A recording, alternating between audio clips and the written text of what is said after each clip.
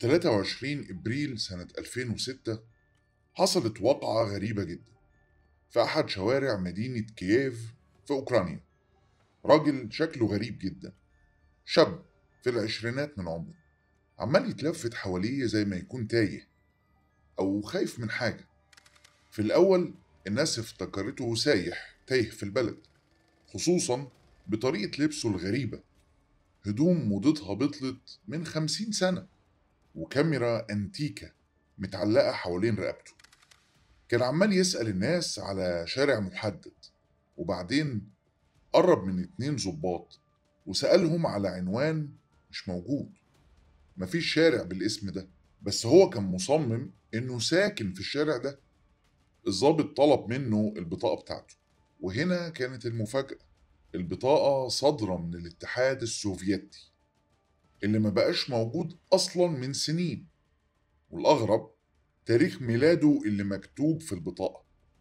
الشاب اللي عنده عشرين سنة تقريبا كان مواليد سنة 1932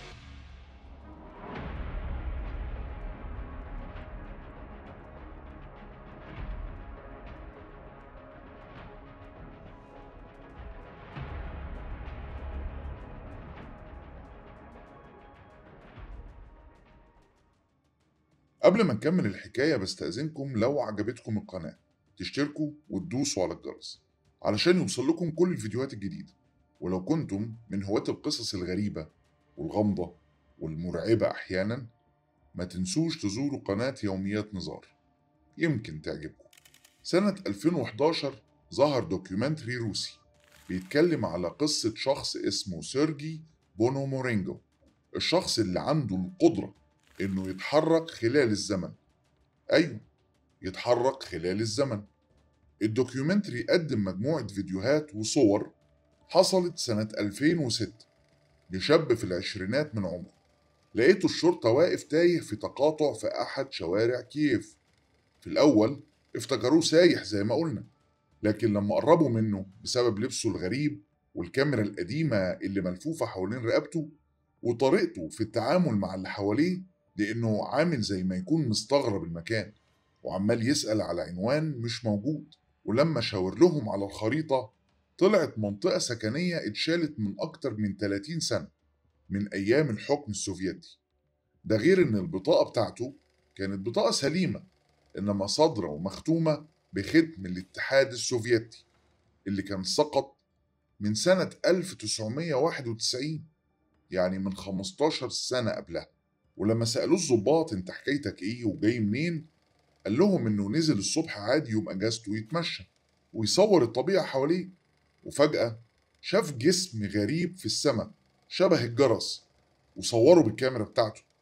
وبعدين مش فاكر أي حاجة غير إنه لقى نفسه في الشارع والمكان اللي لقوه فيه. واحد من الظباط سأله أنت عارف تاريخ النهاردة إيه؟ قال لهم أيوة طبعا. 23 إبريل سنة 1958 حسب الدوكيومنتري الضباط أخدوا سيرجي على عيادة متخصصة للكشف على قواه العقلية. طبعا هو كان رافض وشايف إنه في حاجة غلط. هو عاقل مش مجنون. إنما كان قدامه حل من الاتنين يا إما يروح يتكشف على قواه العقلية في العيادة يا إما يروح على الحجز. هناك كان في كاميرات مراقبة. وكل شيء كان متسجل جوه العيادة النفسية اللي خضع فيها سيرجي للفحص.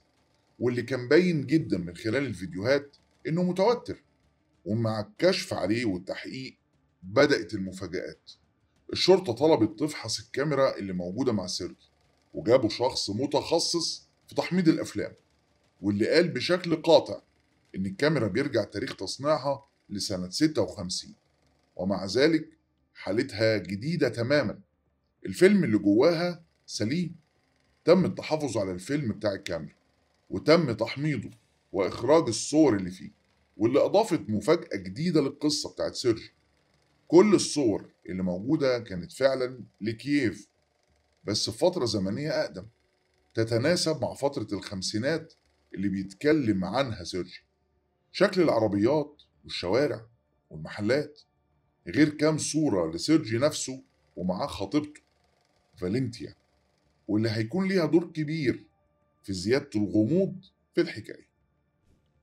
بعد ما ظهرت الصور الشرطة بدأت تحقق مع سيرجي وعرفوا منه اسم خطيبته وبدأوا فعلا يدوروا في السجلات ولقوا واحد باسمه فعلا مختفي من سنة 59 وده اللي خلاهم يطلبوا استدعاء خطيبته فالنتيا أو خلينا نقول اللي كانت خطيبته لأنها في الوقت ده كان عندها 60 سنة لكن قبل ما تيجي ويتم استجوابها بتحصل حاجة غريبة جدا. زودت القصة غموض. سيرجي بعد ما تم استجوابه في العيادة النفسية دخل الأوضة اللي هيتم احتجازه فيها لحد انتهاء التحقيقات. لكن الصبح لما الممرضة دخلت عليه علشان تدخله الأكل ما كانش موجود. دخل الأوضة وما خرجش منها. محدش شاف سيرجي بعدها تاني. الكاميرات مش مصورة غير دخوله للأوضة بس. مفيش أي وسيلة للهروب لأن الأوضة ما فيهاش أي شبابيك. لما جابوا خطيبته وسألوها عن سيرجي قالت لهم إنه بعت لها صورة من كذا سنة وكاتب على ظهر الصورة إنه بخير وإنه هيرجع أول ما يقدر. الصورة كانت لسيرجي وهو على شط نهر. في مكان معروف في كييف لكن وراه ناطحات سحاب مش موجودة في كييف وده اللي خلى الكل في حالة ذهول.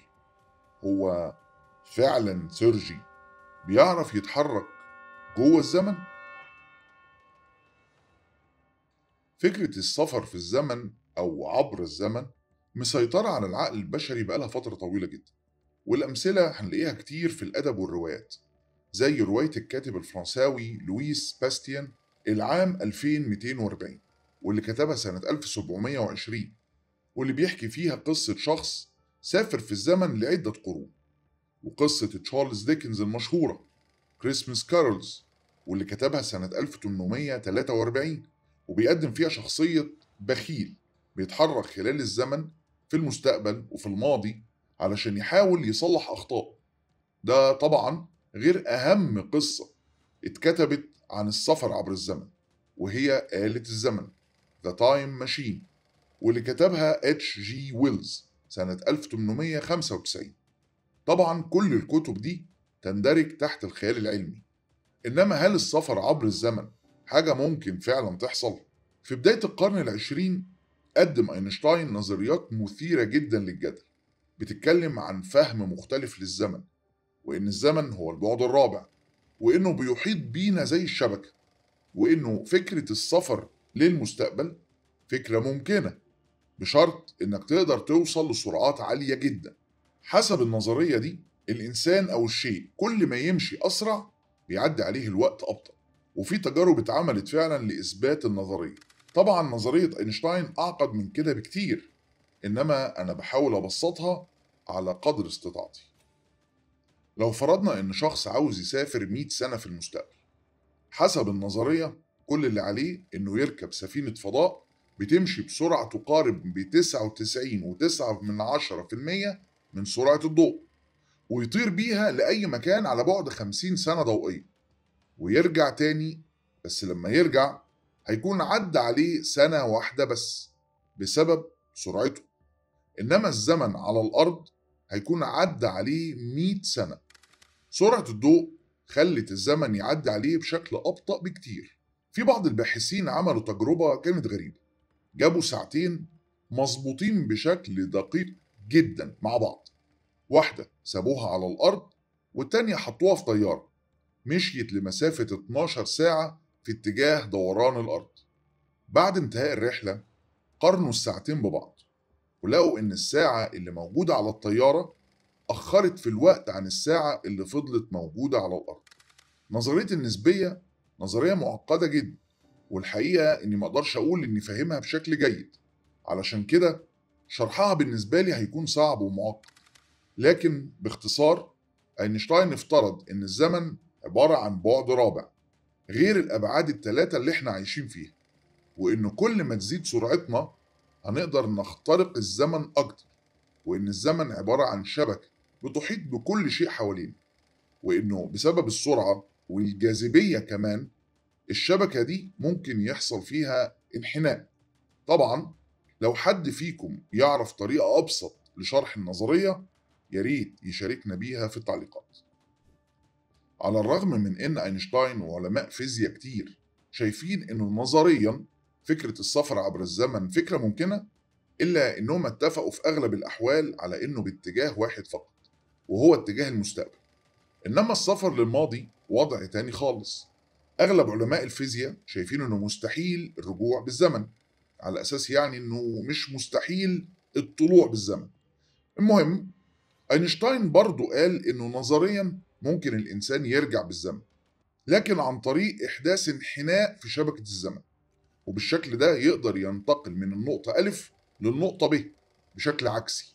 وبيشبه الكلام ده بإن الزمن مفروض عامل زي الورقه لكن لو قدرت تسبب ضغط شديد وجاذبية بحيث إنك تخلي الورقة دي تلف حوالين نفسها وتاخد شكل اسطوانة هيلف بيك الزمن وترجع لنفس النقطة اللي كنت فيها لما بدأت الرحلة.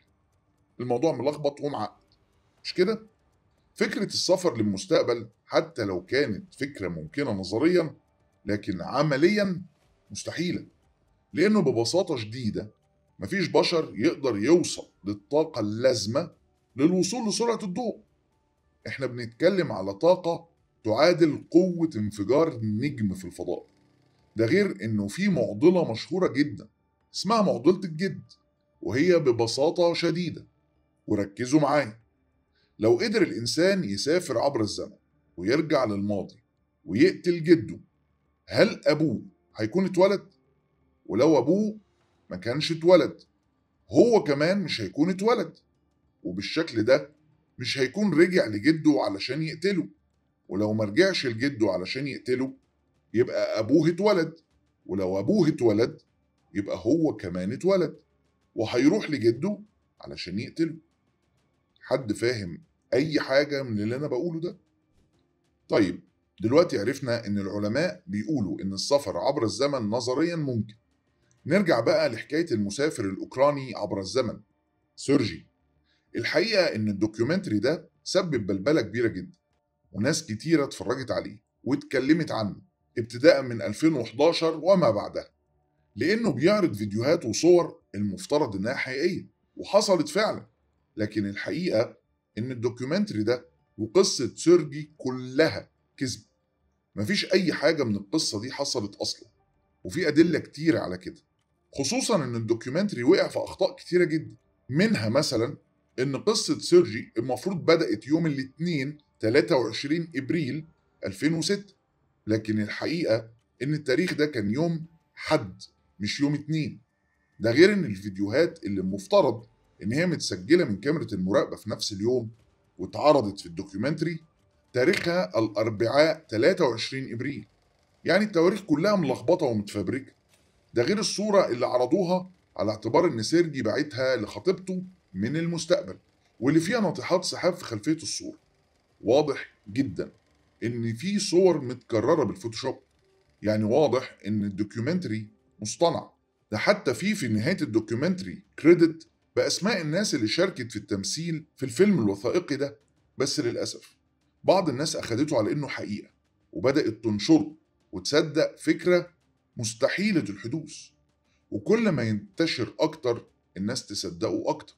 وفجأة على مدار كام سنة تاهت الحقيقة وأصبح في عدد مش قليل. مصدق خرافة سيرجي بونو مارينجو. ليه السفر عبر الزمن شاغل الناس أوي كده؟ من وجهة نظري المتواضعة جدا يمكن ده يكون بسبب إن الزمن هو أكتر أعداء البشر. الزمن هو الشيء اللي ما تقدرش تعكسه.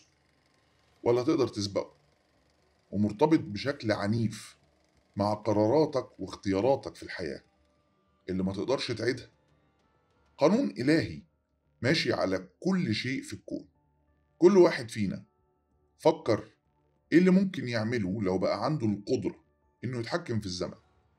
يمكن ترجع تصلح غلط غلطته زمان أو تصلح علاقة مع شخص خسرته بسبب تصرف انت ندمت عليه بعدها أو يمكن حتى تقضي وقت أكتر مع حد فقدته وملحقتش تقعد معاه.